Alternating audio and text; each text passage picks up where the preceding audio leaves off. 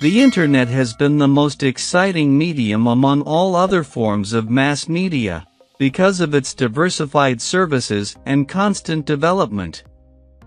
Social networking, which are closely tied to the internet, have had a strong influence on people and society, and have changed their habits and behavior.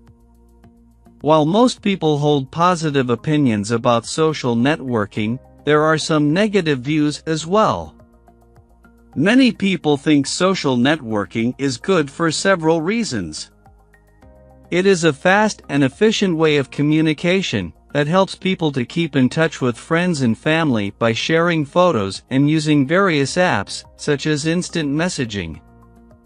It has become the preferred way of interaction for young people because of its speed, convenience, and wide range of functions. People who want to see the person they are talking to online can easily do that by using a video chat app. Those who want to learn a new language like social networking, because they can be exposed to authentic language, use and connect with native speakers online.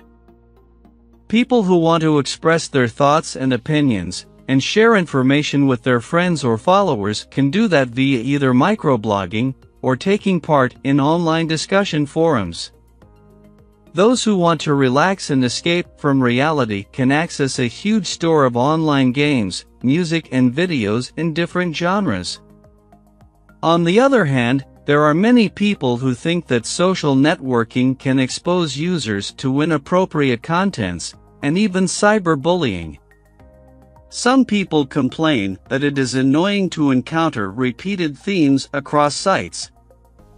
Some say they cannot sense the emotion or enthusiasm from the other person, because there is no face-to-face communication.